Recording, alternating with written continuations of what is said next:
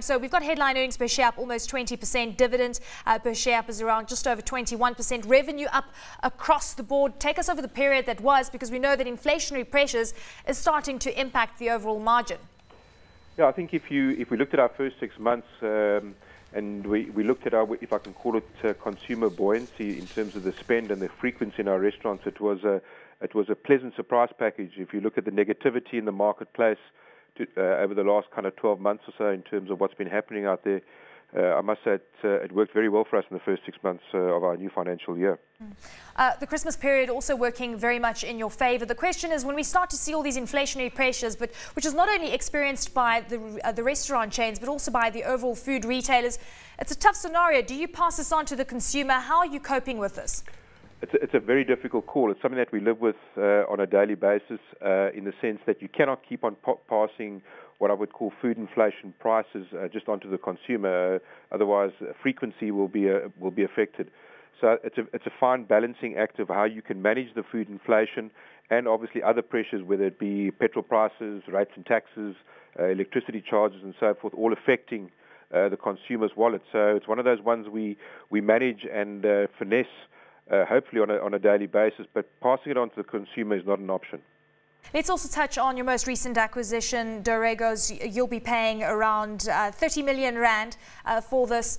Uh, give us an indication of what you are expecting from the, the acquisition perspective. Is it going to be a mixture of organic growth and uh, acquisitive growth? Do you see a mixture of these two coming to the fore? I think it, uh, it is a mixture, but I think uh, before uh, we get there, I think the most important thing for us is to integrate the Dorregos franchisees into into the Spur Corp uh, family, uh, which will probably take us a, a few months. Then also at the same time bring our experience in terms of many years of franchising to the benefit of those franchisees from a product innovation point of view, and obviously having a look at you know what the opportunities are for them. But uh, the principle being is why we identified this business. We do see a growth opportunity uh, going forward. Uh, we believe it is a market that is growing in South Africa, uh, and there's an opportunity for us to grow this brand going forward. Uh, with regards to bedding this acquisition down, give us an indication of what your strategy is also going to be across the African continent. How are you going to integrate all the brands across Africa? It seems that it is one of the points where we are going to see quite a lot of growth coming through uh, on the continent, and a lot of the retailers and restaurateurs are looking to take advantage of this. Yeah, I think we've got a very exciting sort of uh, next six months in terms of our opening in Nigeria and Kenya and Zambia.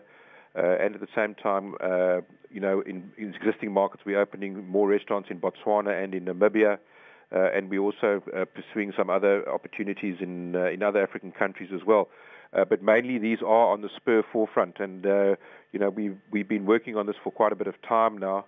And speaking about it. And you know, I think the hard work and the and the drive is starting to bear its fruits in terms of store openings. But uh, from the across all three, all four brands now, I think uh, there will be opportunities over the next at least two to three years for some real exciting opportunities on the African continent for us to grow these brands.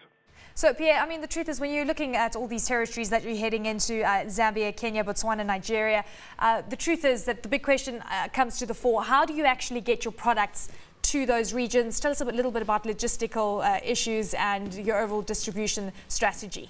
Well, I think logistics is uh, it, it is a challenge in Africa. There's, there's no question. Uh, product availability in terms of certain other menu items is, uh, is, is, is, is problematic. But having said that, uh, what we've done for quite a few years, having been in Africa and been open in Africa for quite a few years in certain territories, is that we, we source a lot of local product uh, and trying to, I suppose, initiate relationships with local supply chain guys also at the same time working with the importers into those territories so that you can make your logistics work.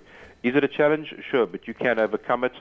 Uh, and it's again it's in terms of the groundwork that you do in these territories to, to make sure that you have a sustainable model for the franchisee in that country going forward. So, so are we expecting double-digit growth for uh, Spur as well into this financial year? Well, you know, I, I, always like to talk after the numbers, but uh, as a management team and as our philosophy, yes, we want to ensure that we have double-digit growth, but um, hopefully I can talk to you by uh, September this year and say it's true.